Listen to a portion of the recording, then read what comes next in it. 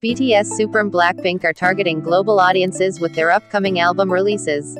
Many idol groups with worldwide popularity and influence are preparing to make their comebacks this month all one week apart from one another, making August a busy month for K-pop. Known as the SM Avengers, group Superm will be starting off with their comeback on August 14th with their single 100. One week later, supergroup BTS will release their single Dynamite. Last but not least, girl group Blackpink will release their new single featuring Selena Gomez on August 28.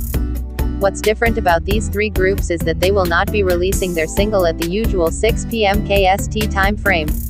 They will instead release it at the 1 p.m. KST time frame in order to target a more global audience. By releasing at 1 p.m. KST, that will mean it will release at midnight in Est in the United States.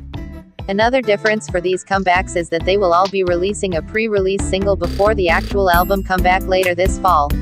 Superm will release their single Tiger Inside on September 1st ahead of their first full-length album comeback on September 25th. BTS, although no exact dates have come out yet, will also be releasing a new album after the release of Dynamite in August. Blackpink also released How You Like That back in June and will be releasing a second pre-release single on August 28 before their full-length album comeback this fall. Not only are they making a comeback but they will also be promoting in the global markets. Superm, who topped the Billboard main album chart Billboard 200 last year, will also be holding various global promotions with their upcoming album. Blackpink has also reported that they will be targeting the global markets through proper planning and action. BTS has already confirmed their first global promotion as they will be performing for the first time at the MTV Video Music Awards on August 31st.